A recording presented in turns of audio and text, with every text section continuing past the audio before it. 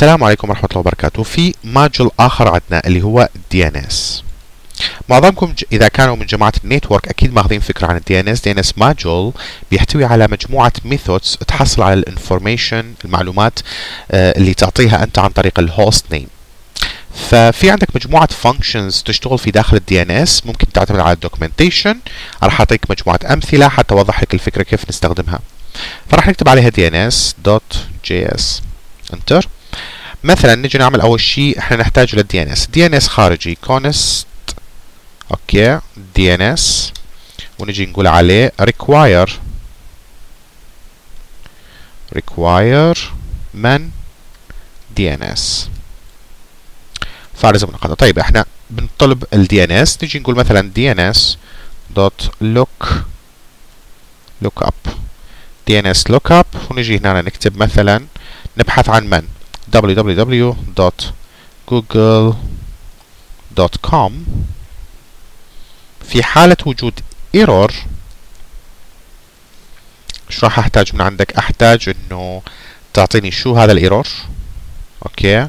زائدا ال addresses أوكي. وأيضا ال family لل network هذا راح يكون في داخله. تيجي تكتب هنا ال log console log اللي راح يطلع لك إياه. راح يطلع لك مثلا ال address أو addresses نقطتين من هو ال address ال addresses أوكي؟ فارزة منقطة بعد ذلك تجي تطلع هنا log تشوف من يا family ك network family for example إذا سوينا على هالشكل أوكي ونجي نكتب هنا family like this في ال console تمام؟ لا تنسى الفارزة المنقطة. خلينا نشوف. save إذا كانت صحيحة اسم الملف DNS DNS enter. طيب هنا عندنا مشكلة.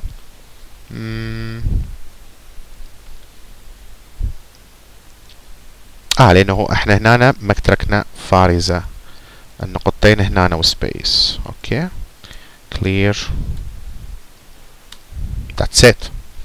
ال addresses هذا لنا ال Google address لو نجي على ال ping. هذا هو ال ping ونجي على مثلا ping. Google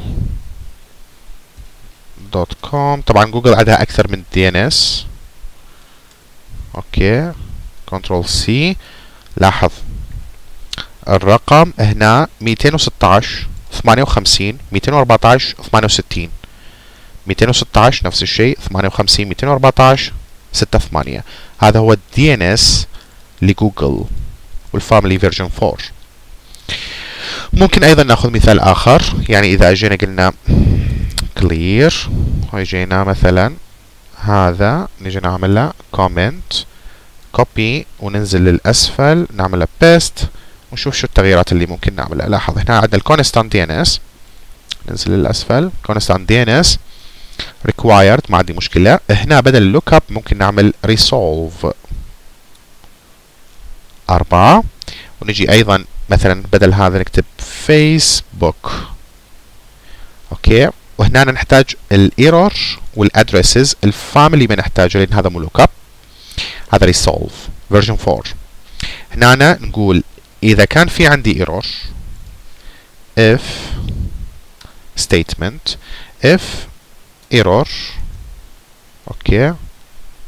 في حالة إذا كان عندي error راح شو نقول له؟ throw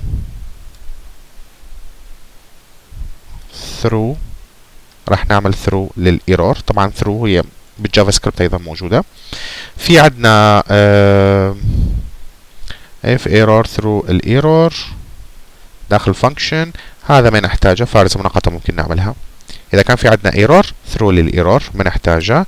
هنا في عندنا ال console ال addresses إيش راح يسوي لنا إياه؟ طبعا ممكن يكون ال addresses أكثر من address في نفس الوقت فممكن نعمل شيء. لاحظ. هنا عندنا آه, آه this one. ممكن إنه إحنا نضع ال addresses لاحظ control X إيش راح نسوي؟ ممكن نضعها بهذا الشكل. هذا عن طريق من؟ حرف الذال في ال keyboard أوكي؟ هذا الاقتباسات ال MySQL هنا أقدر أضع في داخلها X أضع في داخلها ال variable أظهر لي ال variable على شكل ماذا؟ لاحظ هنا أنا لازم نخلي دولار. هنا ال variable نكتب على شكل هنا JSON dot stringify stringify أوكي أتصور string أتصور stringify stringify المن لل addresses اللي هي أيضا آه sorry هنا. addresses اللي هي هذا أصلا موجودة في resolve 4 هنا أنا أحتاج شامل بما أنه JSON حيظهر لي إياها أحتاج أنه أطلع ال addresses مثلا for each راح يفرحون جماعة ال network لين يحبون هذه الأشياء. مثلا uh, for each uh, في داخلها شي يكون. آه خلينا نقول مثلا إذا كان عندك variable a لي بهذا الشكل نجي نقول dns dot reserve reserve serve dns reserve راح يطلع لي ال A فارزة in case اكو في عندك error أوكي this one uh, هنا وين كتبناه E E R R اي تمام error فارزة من ال host name. طيب ال host name أيضا نقول له هنا نجي. إذا كان عندك مشكلة if error إيش راح تعمل لنا بهذا الشكل نضع في داخله throw error. تمام؟ في حالة ماكو error ممكن إنه يجي هنا هذا cut أعمله ممكن نستفاد من عنده. في حالة إذا ماكو error ممكن إنه يطبع لنا شنو؟ يطبع لنا أنه مثلا لو نجي هذا أيضا نعمله بهذا الشكل إنه يقول لنا reserved for ال variable من؟ ال A. يكتب لنا إياه. طبعا هنا ممكن نعمل نقطتين. ونجي نعمل دولار ونضع فيها ال variable الثاني اللي هو JSON stringify مثلا. وهنا شي يكون عندك مثلا ال host names. اسماء ال hosts إذا كان عندك أكثر من host واحد موجود. هذا نقفله. هذا أيضا نقفله. عندنا هذا هو. هذا مقفول.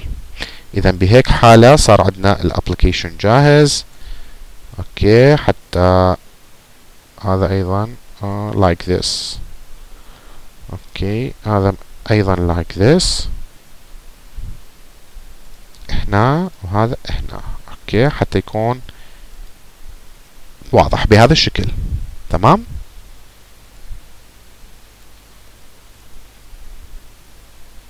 لاحظ هذا هو الكود الكامل بهذا الشكل. طيب هذا اعمل له save واجي هنا أنا اشغله من جديد. okay. هنا أنا لاحظ عندي مشكلة.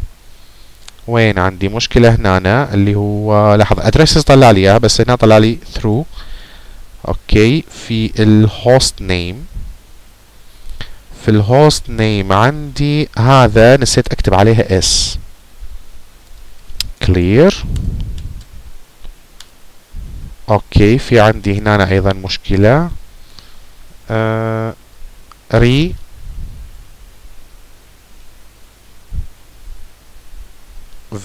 ري. فيرس أوكي. clear تمام لاحظ. عندي ال address. طلع لي إياها بهالشكل الفيسبوك وقال لي اللي هو reserve عاملين reserve لمن هذا؟ وأعطاني الاسم بالكامل host name هذا. إذا كان عندي الفكرة ال JSON addresses لأنه ممكن يكون عندهم أكثر من اسم. يعني مثلا إذا نجي نجرب هنا آه جوجل خلينا نشوف save لاحظ هنا طلع عندك ال addresses طلع لك هذه ال addresses طلع لك اياها بداخل JSON file array okay. هذا ممكن تستفاد من عندنا وتخزنه ك network مبرمج network أنت. وهنا بيطلع لك ال ال كل IP من هذولا الاي host name تم حجزها. يعني حتى ممكن شغلات ال ethical على فكرة ممكن شغلات ال ethical hacking أيضا تعملها عن طريق ال Node JS أشياء رائعة جدا تقدر تعملها عن طريق ال Node JS DNS طيب خلونا نجي على الوقت نوقف نكمل الدرس القادم. مع السلامة.